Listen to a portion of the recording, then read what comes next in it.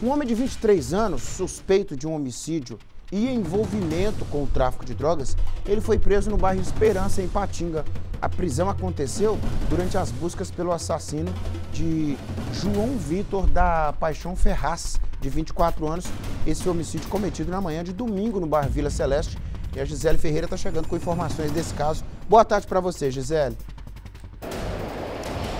Oi, Nico, boa tarde para você, boa tarde para quem está em casa, na nossa programação. Pois é, a gente sempre fala aqui, né, é, qualquer informação anônima pode passar para a polícia e foi desta forma mesmo que a polícia conseguiu chegar a este suspeito. A polícia recebeu informação sobre a placa da moto que foi vista na cena do crime.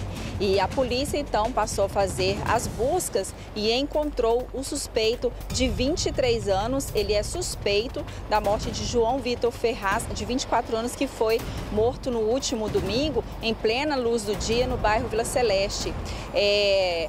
Na, eh, no dia do crime, né, este jovem estava sentado na calçada, chegou uma moto com dois ocupantes e um deles efetuou vários disparos contra a vítima que chegou até a correr e tentar se esconder em um estabelecimento, mas não teve jeito não.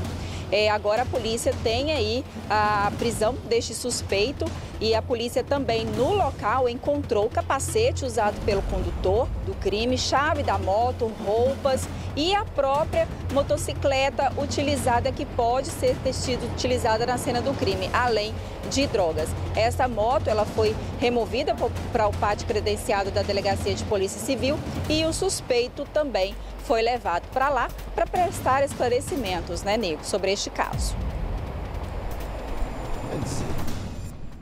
É, a, a, vai acontecendo os crimes, né, Gisele, a violência para todo lado, mas aos poucos também a gente vai vendo o trabalho da, da polícia, né, que vai trazendo pelo menos para a pessoa responder esse crime, né? Não fica impune.